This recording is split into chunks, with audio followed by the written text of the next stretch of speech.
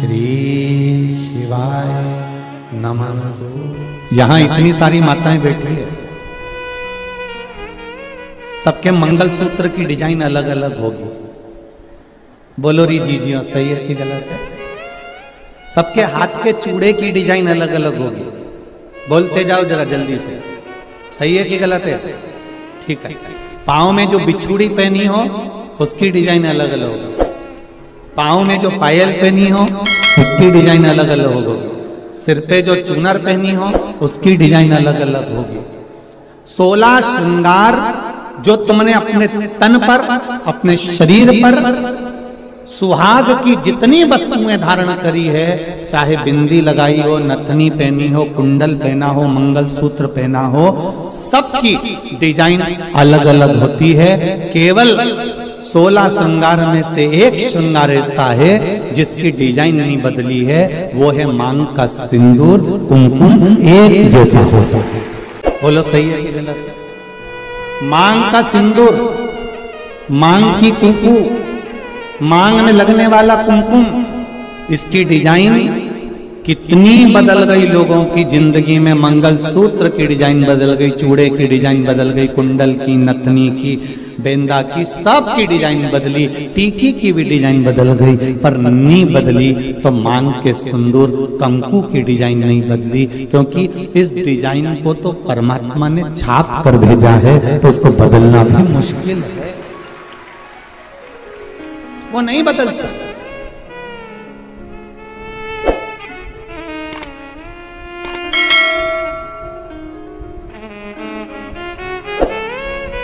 मंगल सूत्र के दाने एक बार निकल जाएँगे ना? चलेगा। नाक की नथनी एक बार निकल जाएगी ना? चलेगी।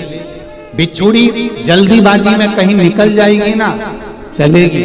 बिंदी कहीं निकल जाएगी ना? चलेगी। हाथ का चुड़ला कहीं निकल कर रखा गया ना? चलेगा। पर मांग का सिंदूर कभी भी मांग से नहीं निकलना चाहिए। ये शिव महापुराण की कथा। अब सोलह श्रृंगार में से एक श्रृंगार ऐसा है मांग का सिंदूर, जिसमें कोई भेद नहीं है। करोड़पति माता भी अपने सिर में लगाती है और एक सब्ज़ी बेचने वाली भी अपने सिर में लगाती है। वो सिंदूर ने समानता बनाकर रखी। एक ब्राह्मण की घर की माता भी सिर पर लगा रही है तो एक वैश्य के घर की माता भी सिर पर लगा रही है, एक छत्री के घर की माता भी सिर पर लगा रही है तो एक शूद्र के घर की माता भी अपने सिर पर लगा रही है। सारा श्रृंगार पैसे के बल पर ऊँचा नीचा हो सकता है मंगल सूत्र पैसे के बल पर ऊँचा नीचा हो सकता है, हाथ के चूड़े पैसे के बल पर ऊँचे नीचे हो सकते हैं, पाँव की पायल पैसे के बल पर ऊँचा नीचा हो सकता है, केवल मांग का सिंदूर, कुमकुम, ये पैसे के बल पर ऊँचा नीचा नहीं होता, ये गरीब और अमीर सबकी समता बता देता है कि यहाँ सब बराबर हैं, मांग के सिंदूर के आगे, कुमकुम के आगे सब बराबर कितनी बड़ी बात रामचरित मानस में आती है। थोड़ा ध्यान लगाकर सुनना मेरे धान के कटोरे वालों सब। छत्तीसगढ़ वासी सबले बढ़िया जम के बोलो जरा। सबले बढ़िया, छत्तीसगढ़िया। तो मेरा छत्तीसगढ़ वालों से निवेदन है और जितने लोग टीवी के माध्यम से कथा हैं और जितने लोग आस्था चैनल फेसबुक यूट्यूब के माध्यम से कथा सुन रहे हैं, अपने जीवन में एक बात उतार कर रखना रामचरित मानस की। रामचरित मानस में राम जी ने रावण की ओर देखा, लंका की ओर देखा। और लंका की ओर देखकर राम जी ने हनुमान जी को समझौता करने के लिए भेजा। जाओ हनुमान, जरा समझौता करना है रावण से। इतने में जामवंत, अंगद, और जितने बानर थे, वो बोलते हैं, प्रभु काय को समझौते की बात करते हो? मिटा देते हैं उस रावण को। देरी नहीं लगेगी, चुटकी भर में उस रावण को मिटा देंगे।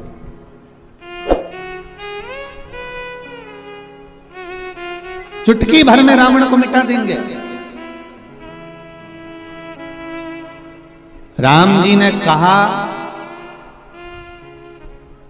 रावण को मिटाना सरल है, पर मंदोदरी के मांग के सिंदूर को मिटाना कठिन है। जरा ध्यान दीजिए। रावण को मिटाना सरल है। पर जो ये मंदोदरी ने मांग में सिंदूर धारण कर कर रखा है, जो मंदोदरी अपनी मांग में सिंदूर धारण कर कर रखी है, जो मंदोदरी अपनी मांग में कुंकु धारण कर कर रखी है, जो मंदोदरी अपनी मांग में कुमकुम रखी हुई है, इसका सौभाग्य इसके सामने है और इसका जो भजन है, इसका जो आनंद है, इसका जो स्मरण है, वो इतना प्रबल है कि उसको मिटाना कठिन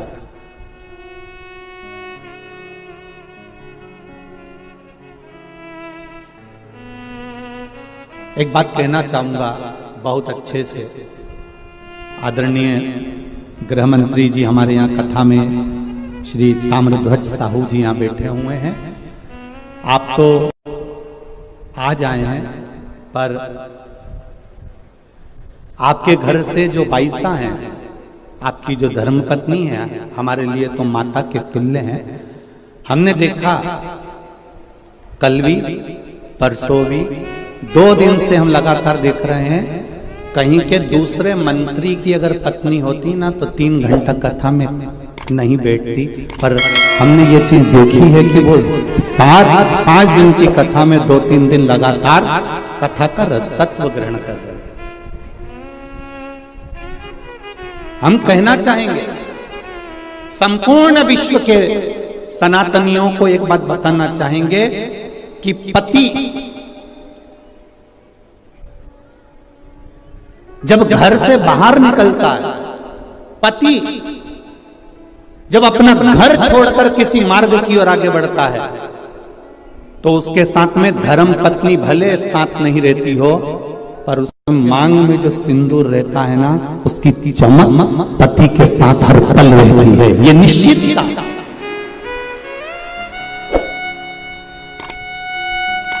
उसकी भक्ति का बल उसके भजन का बल उसके स्मरण का बल अभी अभी आपने तुलसी जी और सालिग्राम की शादी जी करी होगी बोलो सही है।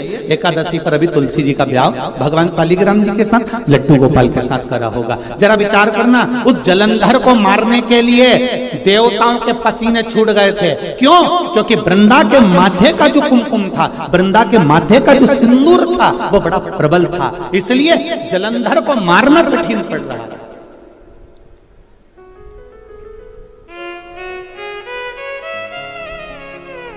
फिर करा क्या गया? कि इसके सातित्व को डिगाया जाए। और सातित्व को डिगाने के लिए भेजा, जब उसका सातित्व डिग गया, सातित्व टूट गया, तब जलंधर के प्राणों को हरा गया।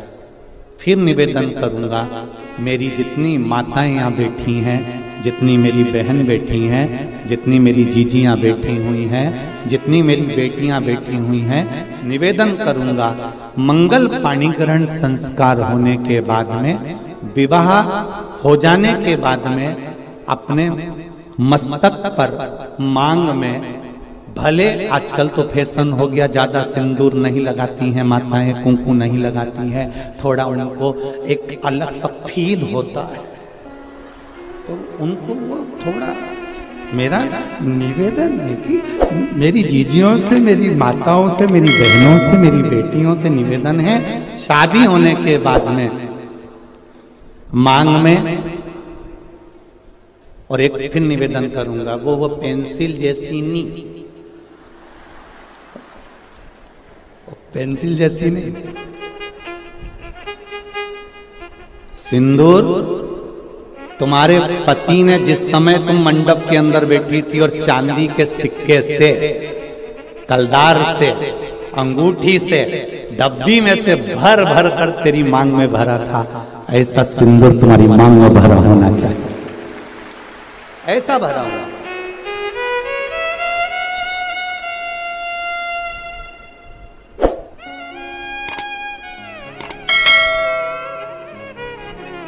आपके माथे के सिंदूर, आपके मस्तक की कुंकू पर, जो कुंकू आपने लगाया है, जो मस्तक पर सिंदूर लगाया है, वो बड़ा, हम सिंदूर और कुंकू का इसलिए बोल रहे हैं, टीकी का इसलिए नहीं बोल रहे हैं, क्योंकि टीकी तो आज के जमाने में तुम ढूंढते रह जाओगे। एक छोटी सी पंखड़ी को भी काटते काटते जैसे माथा की जूनी रहे को निकालो, फिर देखो। बस ऐसी इतनी छोटी सी टीकी माताएँ लगाती है, इतनी छोटी सी बिंदी लगाती है कि पूरा माथा पे ढूंढते रह जाओगे कि है कि नहीं है। पहचान करना भारी पड़ जाता है। निवेदन है, बिंदी तुम लगा रहे हो, कितनी बड़ी लगा रहे हो हमें उससे मतलब नहीं है, पर मांग में थोड़ा सा सिंदूर, थोड़ी सी कुंकू थोड़ी सी डोली, जो भी आप लगाते हो, वो थोड़ा सा इस मांग में